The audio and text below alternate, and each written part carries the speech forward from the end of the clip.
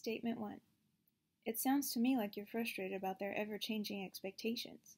How can you convince them to stick with their original scope? Statement 2. So, in other words, you feel like he's making you choose between him or school. What can you do to schedule more time with him? Statement 3. What I'm hearing is that you're torn between pleasing your mom and doing what's right for you.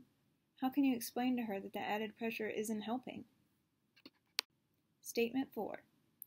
Let me see if I have this right. You want me to stack the boxes in the back of the warehouse. When do you want this done by? Statement 5. So you mean you're excited because you've got a chance to start on the team next year. How are we going to celebrate?